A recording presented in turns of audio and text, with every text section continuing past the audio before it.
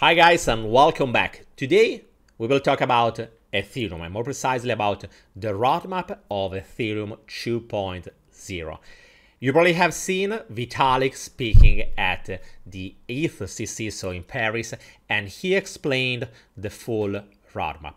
I want to tell you exactly what happened and what we can expect in the different phases of this process. Most of all, we will try also to understand in which way the price of Ethereum will behave and what we can expect short term, but most of all long term. Just let me say that this channel is about educational content and nothing has to be intended as financial advice. If you want to invest in anything, that's great, but do always your own research first. And guys, as you have seen into my last video, we have changed a lot. We are now DeFi Talks, and if you missed that video, we'll leave also the link in the right corner here. Remember that there are many other channels that we are working on with many other media. You can retrieve all the official links into the description below.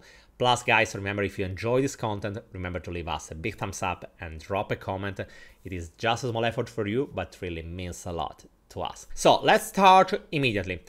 What we are seeing into the background is the roadmap, and as you can see, it is divided in different phases.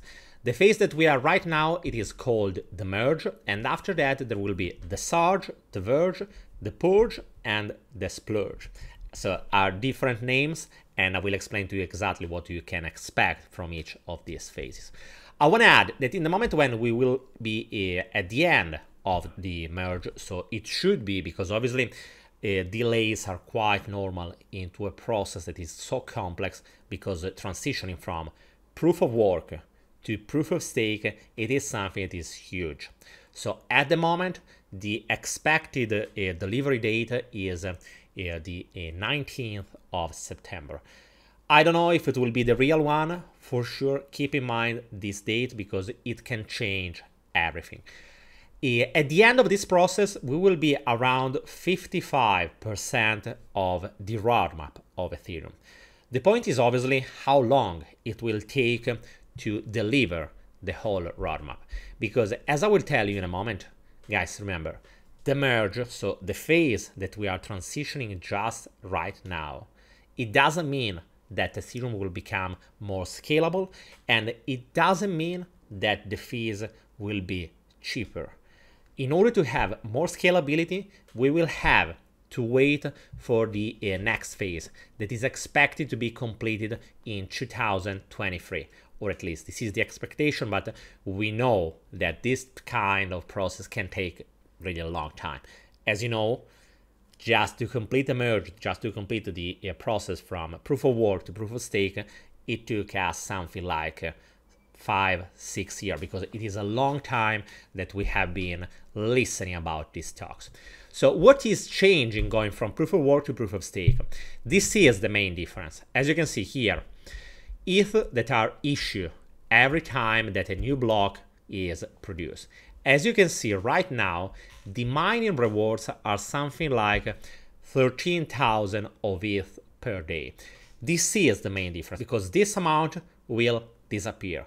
This kind of rewards will not be anymore distributed to the miners. And that's the main thing. And that's also the reason why we should starting to look at also to Ethereum Classic that will stay with proof of work because maybe many miners will go from Ethereum to Ethereum Classic. So who knows? Maybe also in Ethereum Classic we will see more traction, more interest. I don't know. That's just a speculation, but something to be aware of. On the other side, staking rewards will remain the same and will be uh, a 1,600 Ethereum per day. What does it mean? It means that, and that's the main difference, is that Ethereum will go from an inflationary asset to a deflationary asset. I'm using ultrasound.money just to show you how much the supply is growing in this moment. As you know, probably each transaction is, or better, each block is burning also a certain amount of ETH. As you can see from this first uh, information here, burn, each year we are burning something like 0.9 million of ETH. Obviously, this number is much higher if the traction, if the number of transactions that are processed by the uh, blockchain is higher. The more it is the usage of uh, the blockchain, higher is the amount of ETH that are bar. Even so, at this moment, with this kind of system where we are rewarding miners, the amount of inflation is something like 3.8 per year. But if we try to simulate the merge, you will see that in this moment, even right now, that the amount of usage of the blockchain is not so high, we will have a deflationary asset of around 0.2% per year. So we will have deflation instead of inflation. Obviously, this number can change. As you can see just changing the time frame and using the last year it will be something like 1.7% of deflation. Because obviously higher the usage higher the amount that we are burning and obviously higher is the deflation. Remember guys that it doesn't change how much fees we are paying right now. In the moment when we will have the merge we will still pay a lot of fees on ethereum on the other side, also the amount of transaction that Ethereum will be able to process will still be the same. So it will take much longer to see real scalability. And the real scalability will come only with the Surge. The Surge is where they will start to use the sharding. What is sharding? Sharding is, uh, as you can see from uh, this uh, image here, simply means dividing in different blockchains or, or better in different processes that are working in parallel. So it means that at the same time you can process more transactions. This should improve the amount of transactions that uh, Ethereum is able to process to up to 100,000 of transaction per second or at least this is the estimation by uh, Vitalik that has been done just at a conference. Going on, because it's not ended here, this is obviously the main part. The surge will be the point that will change, it will mark the major change into the Ethereum blockchain. Until that moment, yes, the main point is that we will have a deflationary asset that in the long term will obviously appreciate the price because it means that if a higher demand will come, we will not have any kind of inflation in order to absorb it. So each person that wants to buy will push the price higher because the offer, so the amount of Ethereum that is in circulation is going down every day. So obviously the buying pressure will be much higher. So that's the reason why we can expect a higher price. Just to make it even easier, even if the same market cap, even if Ethereum will maintain the same market cap, the price with a deflationary asset should go up. So that's all. The surge, so we'll have the scalability. After that, we will have the verge. What does it mean? It is quite complex from the technical point of view. Say it simple is that a way to make it more simple to create nodes, so to increase the number of validators. And the same will happen for the next phase that is called the purge. The purge because most of or better, it will be optimizing the amount of data that are saved in order to eliminate a certain amount of historical data that are not anymore important. The main consequence of this choice is that the amount of data that are saved into the blockchain is lower. And this will increase also the decentralization because remember, in order to have a real decentralization, what we need is requirements in order to run a node. A node is the entity that is in charge to validate the different kind of transactions. So the more nodes we have into an infrastructure, the more decentralized it is, and also obviously more secure because the probability to have, for example, a 51% uh, attack, it is much lower.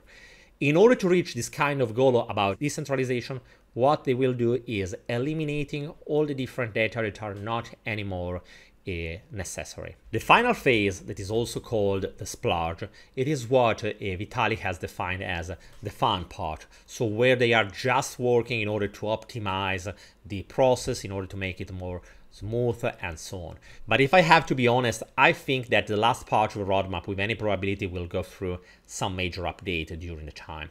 Because obviously, if you think about it took us so long to reach the merge. And obviously, each year that is going on, each year that we are just producing new innovation, maybe also Vitalik will change his mind and also seeing new technologies also maybe the way that Ethereum is uh, simply evolving will change. What is important is not really remembering what each phase will uh, produce and will introduce.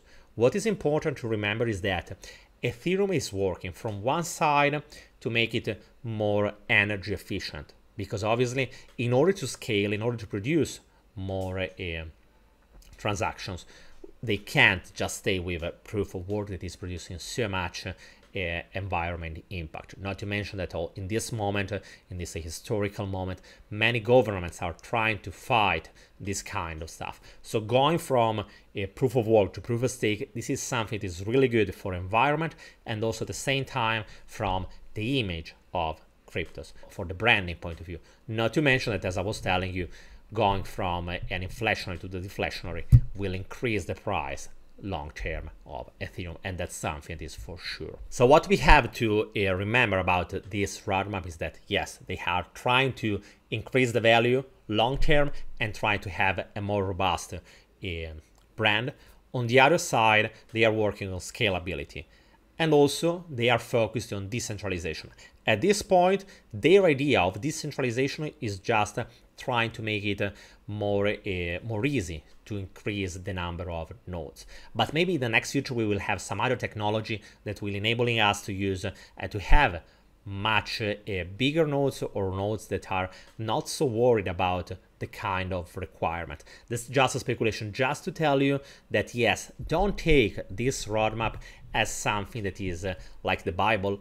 It is this way and it will ever be it is something that will change because obviously the environment is changing, the technologies are changing. What is important to understand is the mindset that Vitalik has shared. So uh, compliance, scalability, and decentralization. Going back, it is everything that is about the trilemma. The trilemma is the main point and what you should take in account. From the point of view of the price, what we can expect from Ethereum in the next future. First of all, it is true that um, until the merge, and if the merge will go uh, smoothly, it is possible that we will see more hype around Ethereum, so also a price that can surge. On the other side, it could be quite, uh, I don't know, naive, or at least it is too early to say that um, it is able to grow to reach 3K, 4K again, at least uh, in the short term. I think that is much more probable that Ethereum can try to fight to reach again 2K, and after that we will have to see if it will be able to break them or if it will find a major resistance. Because still remember, we are in a bear market and we have to follow all the major and macroeconomics events that will uh, affect the price of Ethereum. I still think that all of these updates will bring the results, so they will affect the price much more into the long term uh, view instead of the short term. Yes, in the short term, we will have some kind of bounce that can bring us even farther. We have just done something like plus 60% in the last couple of weeks, and that's something that is amazing. But uh, at the same time, we still have some kind of upside also in the short term but remember that everything is connected to the overall market. I don't think I'm not seeing an Ethereum that just because the merge is able to go from its own path and just growing, reaching 3K, 4K again, and so on. At least that's just my personal opinion. Let me know what you think about it. Just use the comment section below. And guys, remember, if you enjoy this content, leave us a big thumbs up. And if you want to know more about our different channels. Remember to check them into the description below because we are using also Twitter, we have our weekly newsletter, and much more is coming. Guys, thank you for following me, and I will see you soon. Bye, guys.